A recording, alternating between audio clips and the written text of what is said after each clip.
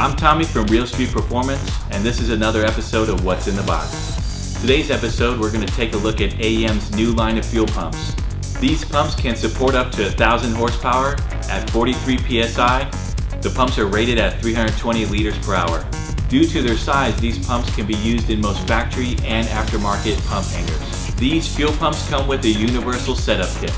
So let's take a closer look at what's in the box. Each fuel pump kit will include the fuel pump with electrical connector, the pre-filter, fuel hose and clamps, instruction manual, and the isolator sleeve and end cap. The 50-1200 is made to use with methanol and ethanol, but both are safe for gasoline.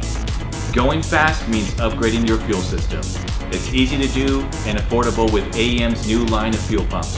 The AEM fuel pump is one of many AEM products that we keep in stock every day at Real Street Performance. If you have any questions or concerns, give us a call at 407-695-7223. For international buyers, we export and ship every day. Don't forget to subscribe for more What's in the Box videos.